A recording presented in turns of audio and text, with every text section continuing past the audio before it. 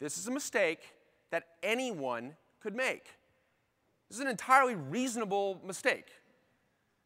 The fact that the symptoms of the problem were so far removed, the fact that it took two weeks of quite literally around the clock, around the globe, kernel expertise. You, you as a customer never could have assembled the expertise that we were able to summon on that problem.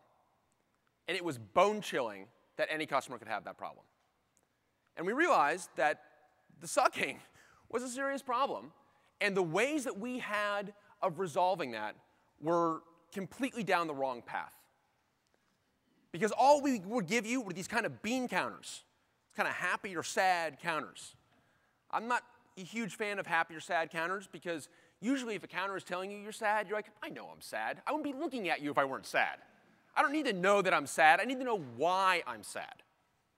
And this idea of, of, custom, of custom generating modules to throw them on the machine was a non-starter. But why, why was I having to do that? Why was, I having to, why was I having to custom generate modules? Because these modules were not written to debug every possible amount of information. Right? Look at the way we develop software. If, if you want to see software, how do you see it? You, put your, you add things to your code that say if logging is enabled, or if debug is on, or if you want to see me, I'm going to syslog, or I'm going to store something to a ring buffer, or I'm, I'm going to emit some datum, right? And the problem is that that boils down to that if conditional, conditionally emit datum, that boils down to a load, a compare, and a branch towards the microprocessor. And that costs. There's no way around that. And you can't possibly, moreover, anticipate every portion of your code that needs these. Right? And if your code were covered with these things, your code would be too slow to ship, even if they were not enabled. So we realized that we had to take a fundamentally different approach. And what we need to go do is be able to safely, dynamically instrument the system. And we needed to do that in such a way that we could, we could ask arbitrary questions about the system, gather arbitrary data. So one of the first things that we discovered in, in starting to develop dtrace, so, we, so Mike Shapiro, Adam Leventhal, and I started to develop dtrace, or Mike and I initially set out, we added Adam to the team about, about six months later, um, in the fall of 2001. And one of the first things we figured out was we need a programming language. Uh, and if you've, I, I, assume many of you have either, if you've obviously heard of dtrace, so you've seen dtrace demoed or, or what have you. Um, I won't actually, well, maybe I will actually just show you what it looks like. Fortunately, I've got a, um, this, this, is my Mac. Um, it's uh, enormously liberating that I can show you dtrace on a platform that I did not develop myself. Um, so if I just run dtrace without any arguments, I see this kind of uh, Unixy style help message, which is normally fits within the 80 columns that God intended but is only wrapping so you can see the font. I want to make that absolutely clear. That I think, I, I feel like I, and perhaps we in this room, are the last on the planet to defend God's intent of 80 columns. But I will defend it to the death. I want you to know that. Um, the, it, it, was heartbreaking to me when a fellow engineer, who will remain nameless because it's just too heartbreaking to name him, um, started using one of those, one of those newfangled mail clients not Mutt, thank you very much. And I would still be using Elm if Elm could, God damn it, if Elm were actually compiled large file aware, I would still be using Elm. I would be one of the Elm dead enders. But anyway, um, started sending me mail with embedded control M's in it. So my, my mail reader, of course, is embedding all of these horrific carriage returns that make it impossible to actually read his mail. Um, and it, it's, it's, it's really, it's pretty sad. Anyway, 80 columns of death. Um, so th this is 80 columns. You just can't quite appreciate it here. Um, if I wanted to, uh, to actually enable some probes, let's, I'm just going to, um, we'll do every uh, system call, and we'll just let, uh, we'll actually just trace the exec name. So the, the programming language aspect of dtrace, I hope people can see that. Maybe you can't. Can, can folks see that in the back? OK, great, thank you. Um, so the, the, the, programming language aspect of this is that you want to attach arbitrary expressions. And, and this presentation is not meant to be an introduction to dtrace, so I, am just going to kind of fly through this.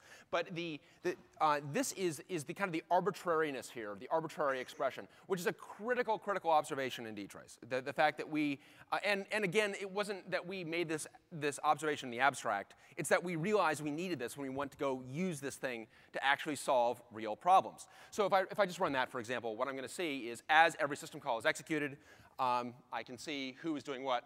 And of course, it's all dtrace and terminal. um, which brings us to a very important uh, second observation from dtrace that, again, was not reasoned about a priori, but rather figured out as we, as we started to, to implement it and started to use it to, uh, to actually solve real problems. So what we see here is uh, dtrace and terminal, terminal being Apple's terminal here.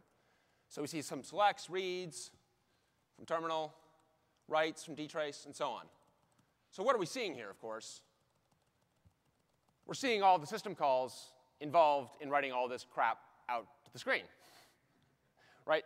We're seeing ourselves. And if you were to do the traditional Unix thing of, you know, dtrace, pipe to cut, pipe to, pipe to sort, pipe to uniq minus c, pipe to sort minus n, and so on, you come to the conclusion like, hey, I, I, good news, I figured out what was going on with the laptop. dtrace was murdering the laptop. Right? Um, of course, that's the wrong conclusion. Uh, this is an example of what I would call, and I, I don't know if Bill's in the room or not, but this is what I call the top problem, right? You run top, what's the top process? Top. It's like, good news, man, I found the problem. I'm the problem.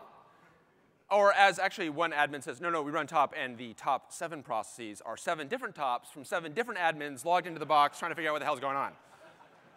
Um, which is probably more apt. Uh, and the reason, by the way, the top suffers from this problem, the reason you would see this here, is the same, same issue, is that you, the, the amount of work that you're doing is scaling with the amount of data, right? The amount of work that top has to do scales with the number of processes. You've got 8,000 processes in the box. Top has to do 2x the work if you just had 4,000 processes, right? Of course, the day that you want to understand what the hell's going on in the box, you're more likely to have 8,000 or 4,000. More likely to have 8,000. So when you most need top, it is most likely to consume more of your CPU, which is a problem, not, not to denigrate top at all. But I guess it worked out that way. Um, so we, we did not want, we realized in, in, in dtrace that we, we, we wanted to get out from underneath this problem. Actually, that, that's an overly romantic way of expressing it. I'm actually, this, this implies that, that because uh, we kind of saw this problem a little bit after the fact, the, uh, the true genesis of aggregations in dtrace, which is what I'm kind of leading up to, um, Actually, let me show them to you, and then I'll, I'll, explain the true genesis. So what we realized we needed to do in, in order to get out of this problem is we don't want to trace the exec name. What we want to do is aggregate on it with this at sign notation. And I'm going to take the aggregating action to count. When I run this now, I don't see any output. And what we're keeping in the kernel is just a little table of exec name and count. That's it. Even better, we're able to keep these because we call these aggregating functions. These are functions in which you do not need to see the entire data stream in order to be able to derive the result. Median is not an aggregating function. Mode is not an aggregating function. However, doing a count, for example, is. Because, and why is that important? What I'm able to do is keep a, a table of these per CPU. And then I can aggregate them together in userland. The scales. Right? You don't have any, because one thing you do not want to have in any sort of instrumentation framework is contention on some global table to increment a, a variable, right? Because you will quickly become the problem. So we control C that, we see what is a, and again, if this were only 80 columns, you know, I, am actually considering making this smaller and then going to, uh, God is angry here. I can just feel it. I'm just going to be, I'm going to be punished later. I can, so I'm hoping you can still see this because I just, this just does not feel right. All right, there we go. Okay, order has been restored into the universe, and we can see the, what is truly going on in this box. Terminal and dtrace are really not the issues, right? I've got a VMware image that's, that's crunching away that's definitely doing a lot more work than either of those guys, right? So that, that, that table is a much more concise answer. Now, I say that this is a, a, a bit of a, a, revisionist history in terms of explaining how we developed aggregations, because the, the, the, real truth of the matter is that, that aggregations were developed for a much more emotional reason. And that is, I told you about that lockstat utility that Bonwick developed. Um, I was hellbent on having the rare and unique pleasure of ripping out a bunch of Bonwick code.